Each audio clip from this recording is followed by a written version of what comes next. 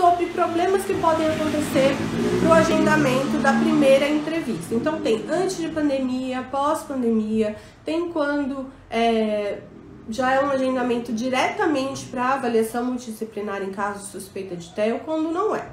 Então, os pais, eles não têm muitas informações. A grande maioria dos pais, eles não tem que ter, eles são leigos. Então, faz parte do é nosso dever explicar aos pais que tipo de avaliação que ele precisa, ou como será e o que é importante, né?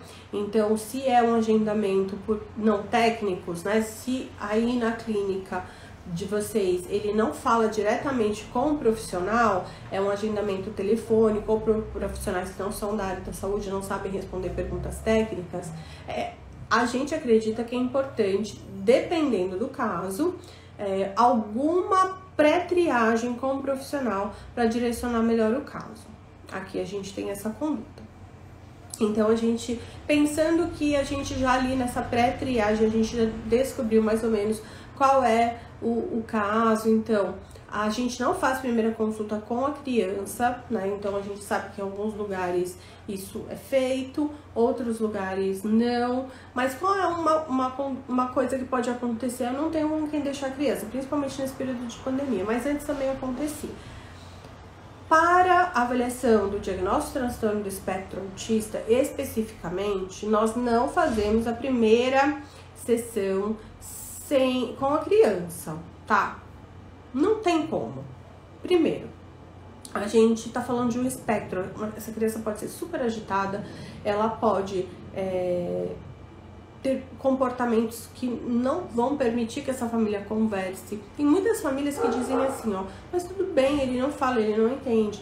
Mas a gente não vai conversar na frente dessa criança, não só por uma questão é, ética no sentido de falar dele na frente dele, mas porque ele vai estar ali sem atenção, a gente não sabe quais são os comportamentos inadequados dessa criança, então, diante da não atenção dos pais, essa criança pode ter comportamentos ali na sala que não são bacanas, entrar em, em, em alguma crise, enfim.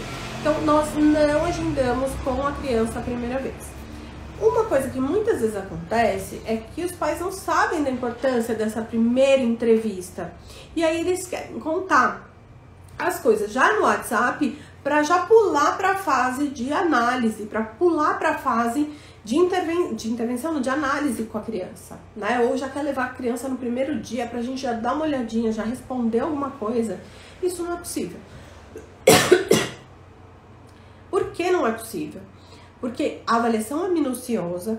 Para essa entrevista inicial, eu preciso que os pais preencham todos esses formulários aqui, são diversos. Então tem a história do desenvolvimento, uma versão que a gente criou agora, é, que pode ser respondido online por conta da pandemia. Então antes era só escrita mesmo, mas agora a gente tem ela online que a gente já envia para os pais. Eu vou falar todas, depois eu explico cada uma.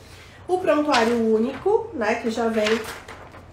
Opa, esse aqui não tá impresso atrás, saiu já vem o histórico do desenvolvimento atrás. A gente tem o formulário, que a gente chama de formulário alimentar, que a mãe vai responder perguntas específicas sobre a alimentação dessa criança. Vejam que esses formulários são específicos para a gente rastrear questões relacionadas ao transtorno do espectro autista ou é, transtornos do neurodesenvolvimento. Tem o formulário médico, que é histórico médico, então aqui também tem perguntas específicas. Formulário sensorial, onde também perguntas específicas. E nós temos autorização para filmar a criança e nós temos o contrato de prestação de serviço.